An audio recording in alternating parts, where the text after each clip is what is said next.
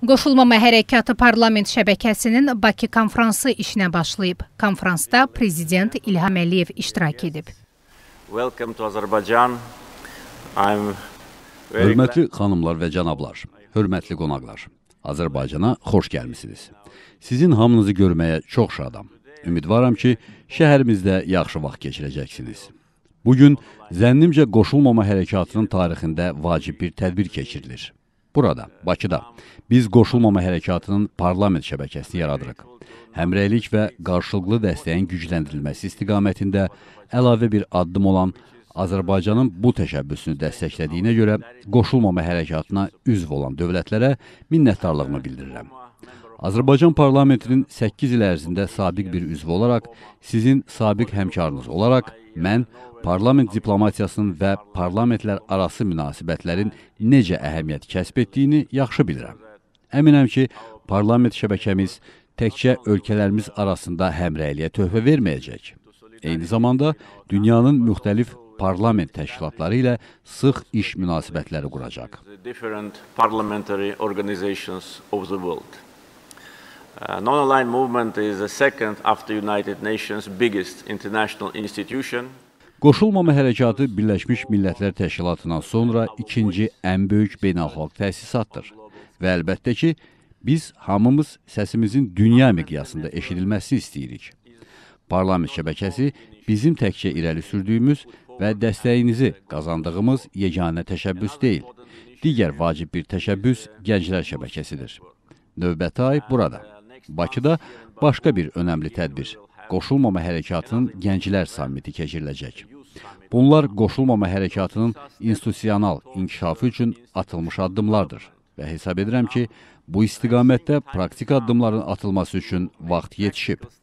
Azərbaycanın irəli sürdüyü və üzv dövlətlər tərəfindən dəstəklənmiş digər bir təşəbbüs New Yorkda qoşulmama hərəkatının dəstək ofisinin yaradılmasıdır.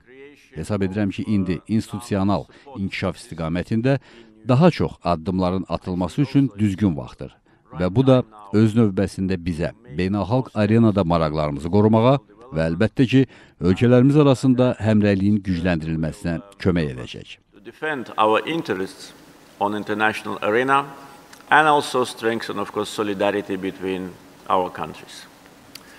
Uh, Azerbaijan is a relatively new uh, member of NAM. We joined NAM family Azərbaycan qoşulmama hərəkatının nisbətən yeni üzvüdür. Biz qoşulmama hərəkatı ailəsinə 2011-ci ildə qoşulduq və fəaliyyətimizin ilk günlərindən bəri həmrəylik, qarşılıqlı dəstək və Bandung prinsiplərinin təşviqinə töhfəmizi verməyə çalışmışıq. Biz Bandung prinsipləri ilə tamamilə razıyıq və bu prinsiplərin ölkələr arasında əməkdaşlıq və qarşılıqlı fəaliyyət üçün yeganə əsas kimi qəbul edirik. Ərazi bütövlüyü, suverenlik, müstəqillik, bir-birinin işlərinə müdaxilə etməmə. Bu prinsiplər bütün ölkələr tərəfindən qorunub saxlanılsaydı, heç bir müharibə, münaqişə və ədalətsizlik olmazdı. There would have been no wars, no conflicts, and no injustice. So, from the first um, days of our activity, Azerbaijan became uh, very active. Fəaliyyətimizin ilk günlərindən Azərbaycan qoşulmama hərəkatının bütün təşəbbüslərində çox fəal cəlb olunmuşdu. Hesab edirəm ki, qoşulmama hərəkatına sədrlik etmək üçün Azərbaycanın namizədliyini yekdil şəkildə dəstəklənməsinin də əsas səbəbi bu idi. 120 ölkənin bu möhtəşəm yekdil dəstəyi 2016-cı ildə nümayiş etdirilmiş və 2019-cu ildə Bakıda biz qoşulmama hərəkatının zirvə toplantısını təşkil edərək müvəffəqiyyətlə keçirdik və 2019-2022-ci ilə qədər sədrliyi üzərimizə götürdük. 2019-2022. And um, also we consider as a Qoşulmama hərəkatına sədrliyimizin yenə də 120 ölkənin yekdil qərarı ilə 2023-cü ilin axırına kimi uzadılmasını ölkəmizə böyük bir hörmət və fəaliyyətimizin qiymətləndirilməsi əlaməti kimi qəbul edirik. Biz buna görə sizə çox minnətdarıq. Sizin dəstəyinizi doğrultmaq və bunun düzgün seçim olduğunu nümayiş etdirmək üçün əlimizdən gələni edəcəyik. justify and uh, your uh, support and demonstrate that that was a right choice. Uh, our chairmanship Qoşulmama hərəkatında sədrliyimiz COVID-19 ilə üst-üstə düşdü və Azərbaycan beynəlxalq arenada bu xəstəliklə mübarizədə öz rolunu fəal oynayan ölkələrdən biri oldu. Biz Qoşulmama hərəkatının onlayn zirvə toplantısının keçirilməsi təşəbbüsü ilə çıxış etdik. Onu 2020-ci ilin may ayında keçirdik və bu pandemiya ilə mübarizə ilə bağlı yaxşılaşmada səylərimizin qoşulmama hərəkatına üzv dövlətlər tərəfindən səfərbər edilməsi üçün ilkin addımlardan biri idi. To convene a special session of General Assembly uh, in response to COVID-19 which was successfully held in December 2020. Bunun nəticəsində biz 2020-ci ilin dekabr ayında uğurla keçirilmiş COVID-19 ilə mübarizəyə həsr edilmiş Birləşmiş Millətlər Təşkilatının Baş Assambleyasının xüsusi sessiyasının çağırılması ilə bağlı üzv dövlətlər tərəfindən dəstəklənmiş təşəbbüsü irəli sürdük. Bizim səylərimiz təkcə həmrəyliyin gücləndirilməsi və dəstəyin təmin edilməsinə yönəlməmişdi.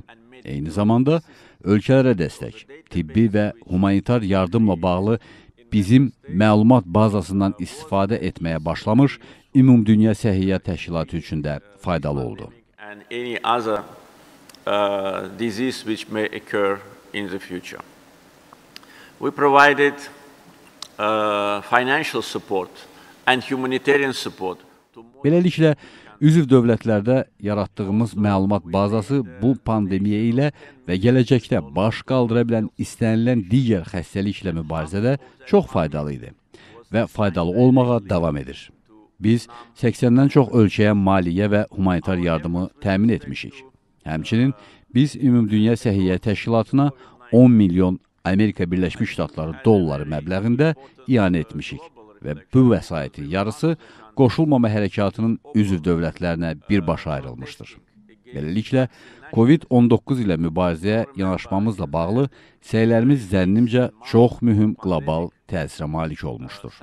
Çünki biz peyvənd millətçiliyinə qarşı açıq şəkildə etirazı bildirən ölkələrdən biri idik.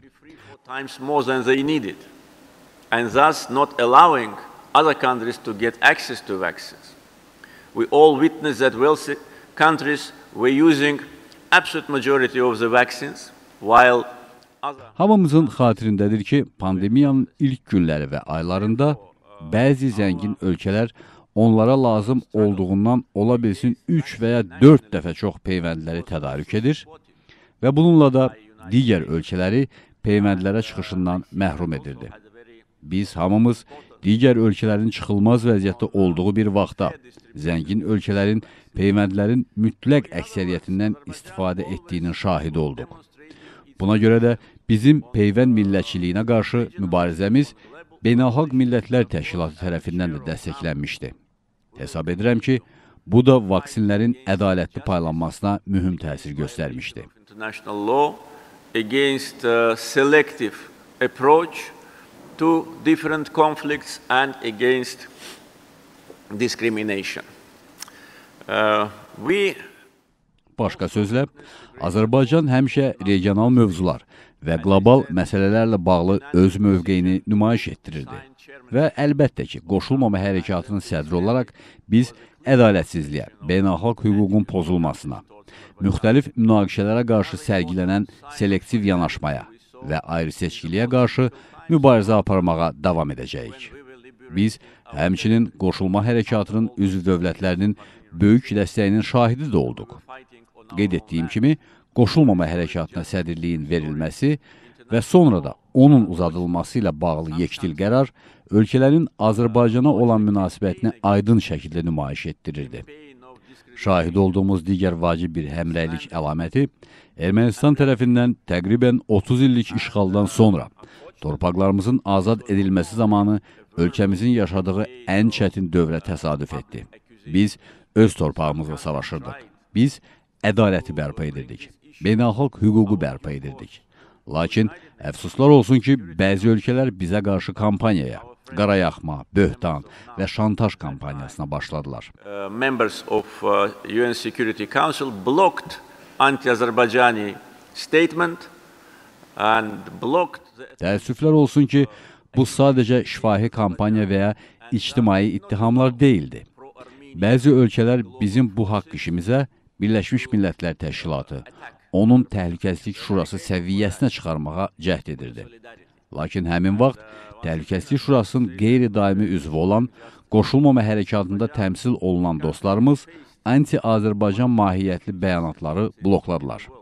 Azərbaycana qarşı ittihamı blokladılar və bununla da ermənipərəst qlobal qüvvələrin Azərbaycana qarşı hücumuna mane oldular. Biz bu həmrəyliyə görə sizə minnətdarıq. Bir daha qeyd etmək istəyirəm ki, biz ədaləti bərpa edirdik. Azərbaycan dünyada ən böyük ədalətsizliklə üzləşmiş ölkələrdən biri idi. Ərazimizin 20%-nin Ermənistan tərəfindən işğal edilməsi etnik təmizləmə ilə nəticələndi. 1 milyon Azərbaycanlı qaçqın və məcburi köçkün vəziyyətinə düşdü. Bizim tarixi və dini irsimiz erməni işğalçıları tərəfindən yer üzündən silinib. Bugün azad olunmuş ərazilərə səfər edənlər bu barbarlığın və vandalizmin şahidi ola bilərlər. Məscidlərimizin təhqiri, mədəni və dini abidələrimizin dağıdılması, bunlar faktlardır və bunu heç kəs görməzdən gələ bilməz. Ermənipərəst qüvvələr nə qədər də bunu görməzdən gəlməyə çalışsalar da buna müvəffəq ola bilmirlər. Çünki artıq minlərlə, bəlkə 10 minlərlə insan, o cümlədən xarici qonaqlar, siyasətçilər, parlament sədrləri və üzvləri, jurnalistlər, ekspertlər və sıravi insanlar azad edilmiş ərazilərə səfər ediblər.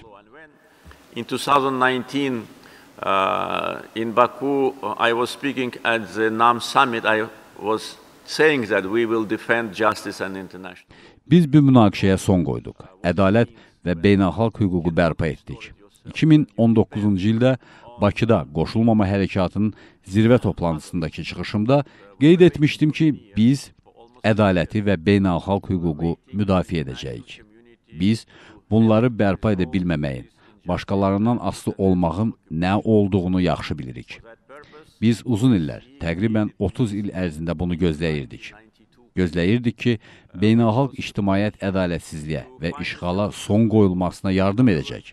Bu məqsədlə ATƏT 1992-ci ildə Minsk qrupunu təsis etdi və o, bu münaqişənin həlli yolunu tapmalı idi. Yəni, işğala son qoyulmalı idi. Əksinə, Minsk qrupu bu münaqişənin əbədi olmasını istəyənlərin əlində alətə çevrildi. Bugün Azərbaycanın münaqişəni həll etməsindən, işğala son qoymasından, özünün ərazi bütövlüyünü hərbi siyasi yollarla bərpa etməsindən sonra Minsk qrupuna ehtiyac yoxdur. Biz Minsk qrupuna artıq əlvida demişik. Təəssüflər olsun ki, Ermənistan və digərləri onu həyata qaytarmağa çalışır. Lakin bu mümkünsüzdür. O artıq ölüb. İşğaldan əziyyət çəkmiş ölkə kimi biz bunu açıq şəkildə bəyan edirik. Düşünürəm ki, ATƏT-in Minsk qrupu ilə bağlı hər hansı spekulyasiya nəinki qeyri-məhsuldardır, eyni zamanda regionda mümkün sülhün bərqərar olması üçün dağıdıcı təsirə malikdir. Possible peace in our region. On 10th uh, November 2020, after 44 days, 2020-ci ilin noyabrın 10-da 44 gün sürən vətən müharibəsi nəticəsində Ermənistan kapitulyasiya etməyə və məğlubiyyətini etiraf etməyə məcbur oldu. Daha sonra döyüş meydanında azad edilməmiş digər rayonlardan çıxmağa məcbur edildi. Bunu etməyə bizə sadəcə 44 gün kifayət etdi. Ancaq biz bunu 30 ilə yaxın gözlədik. İşğal illəri dövründə müxtəlif beynəlxalq tədbirlərdə çıxış edərkən mən Ermənistana qarşı sanksiyaların tətbiqinə çağırırdım. Deyirdim ki, bu problemin dinç həllinin yeganə yolu Ermənistana qarşı sanksiyaların tətbiqidir. O sanksiyalar ki, səmərəli olacaq və onların iqtisadiyyatına sarsıdıcı təsir göstərəcək. Əfsuslar olsun ki, heç bir sanksiya tətbiq edilmədi və əksinə, Ermənistan Azərbaycanla müqayisədə bəzi ermənipərəst siyasətçilərdən getdikcə daha çox dəstək alırdı. pro-Armenian uh, politicians than Azerbaijan. And uh, as we saw uh, the only purpose of uh, Minsk group activity was to freeze the conflict. Gördüyümüz kimi, Minsk qrupunun fəaliyyətinin yeganə məqsədi münaqişəni dondurmaq və torpaqlarımızı əbədi işğal altında saxlamaqdan ibarət idi. Biz həmin siyasətə son qoyduq. Güc və siyasi müdürlük sayəsində torpaqlarımızı azad etdik. Deyə bilərəm ki, Ermənistan-Azərbaycan münaqişəsi ilə bağlı vəziyyət təkcə regional deyil, qlobal məsələdir. Çünki bu təkcə beynəlxalq hüququn təməl prinsiplərinin tam pozulması deyil, həm də Birləşmiş Millətlər Təşkilatının Təhlükəsizlik Şurasının qətnamələrinin kobud pozulması və onlara məhəl qoyulmaması halı idi. 1993-cü ildə BMT Təhlükəsizlik Şurası 4 qətnamə qəbul etmişdi ki, orada erməni qoşunlarının bizim ərazidən dərhal, tam və qeyd şərtsiz çıxarılması tələb edilirdi. Sual olunur ki, niyə bu qətnamələr icra edilmədi? Buna cavab verə bilən yoxdur və ya cavab vermək istəmir. Növbəti sual ondan ibarətdir ki, niyə BMT Təhlükəsizlik Şurasının bəzi qətnamələri bir neçə gün içərisində icra olunur? Bizə gəldikdə onlar 28 il ərzində kağız üzərində qalır. Əgər cəsur Azərbaycanlı hərbçilər torpaqlarımızı azad etməsəydi, həmin qətnamələr yəqin ki, daha 28 il ərzində kağız üzərində qalacaqdı. Our lands. And uh, it's a question of reforms of United Nations and its Security Council. Because Bu, BMT-nin və onun Təhlükəsizlik Şurası çərçivəsində islahatların aparılması məsələsini gündəmə gətirir. Çünki qətnamələr icra edilmirsə, onları qəbul etməyin nə mənası var? Biz islahatların tərəfdarıyıq və hesab edirəm ki, bu qoşulmama hərəkatının dövlət və hökumət başçıları səviyyəsində müzakirə olunmalı və BMT Təhlükəsizlik Şurasının qətnamələrinin siyasi üstünlük əsasında icra edilməsinə son qoyulmalıdır. Ümumilikdə hər kəsə məlumdur ki, qoşulmama hərəkatı dünyada BMT-dən sonra ikinci ən böyük beynəlxalq təsisatdır. Hesab edirəm ki, biz səylərimizi səfərbər edərək potensialı və həmrəyliyi gücləndirməli, vahid mövqedən çıxış etməliyik. Bilirəm ki, bəzi üzvlər arasında müəyyən problemlər var. Düşünürəm ki, qoşulmama hərəkatı həmin problemlərin həlli yolunu tapmaq üçün platforma ola bilər. Həmçinin ölkələrimizin maraqlarının müdafiəsi üçün platforma rolunu oynaya bilər.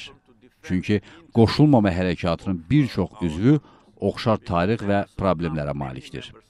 Bir çox hallarda ədalətsizliklə üzləşib və öz milli maraqlarını müdafiə etməyə çalışır. Biz bunu birlikdə edə bilərik və bunu daha səmərəli edə bilərik. Biz məhz bunun tərəfdarıyıq. more efficiently and we speak for that. Therefore, uh, initiatives of Azerbaijan as a chairman of NAM were aimed at strengthening solidarity. Beləliklə, Azərbaycanın qoşulmama hərəkatının sədri qismində irəli sürdüyü təşəbbüslər həmrəyliyi və qarşılıqlı dəstəyi möhkəmləndirməyə, təsisatımızın institusional inkişafına və bəlkə də müəyyən mərhələdə onu təşkilatın çevrilməsinə yönəlib. Və bəlkə də müəyyən mərhələdə onu təşkilata çevrilməsinə yönəlib. Bilirəm ki, qoşulmama hərəkatının tarixində bununla bağlı müzakirələr olub və bəlkə də bu müzakirələri yenidən başlamağın vaxtı çatıb. Çünki bugün biz dünyada qlobal qütübləşmənin, müharibənin, münaqişənin, proqnozlaşdırıla bilinməyən vəziyyətin, ərzaq, enerji və humanitar böhranların şahidi oluruq. Hesab edirəm ki, qoşulmama hərəkatı təkcə ölkələr üçün maraqlarını müdafiə etmək və bir-birini dəstəkləmək platforması deyil, beynəlxalq arenada daha fəal rol oynamaq üçün platformada ola bilər. Azərbaycan olaraq Biz bunu görmək arzusundayıq və ümid edirəm ki, bizim hörmətli qonaqlarımız, qoşulmama hərəkatına üzv ölkələrin parlamentlərinin nümayəndələri bu işə töhfə verəcək və əlbəttə ki, mən də qoşulmama hərəkatına üzv ölkələrin dövlət və hökumət başçıları ilə məsləhətləşmələrimi davam etdirəcəyəm. Əziz dostlar, bizimlə olduğunuza görə sizə təşəkkür edirəm. Ənənəvi Azərbaycan qonaqpərvərliyini göstərmək üçün əlimizdən gələni edəcəyik. Ümid edirəm ki, bu konfrans təkcə çox məhsullar deyil, həm də ünsiyyət və sıx təmasların qurulması baxımından yaxşı fürsət olacaqdır.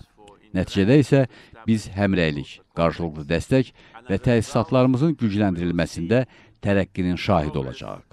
Sağ olun. And in strengthening of our institutions. Thank you very much.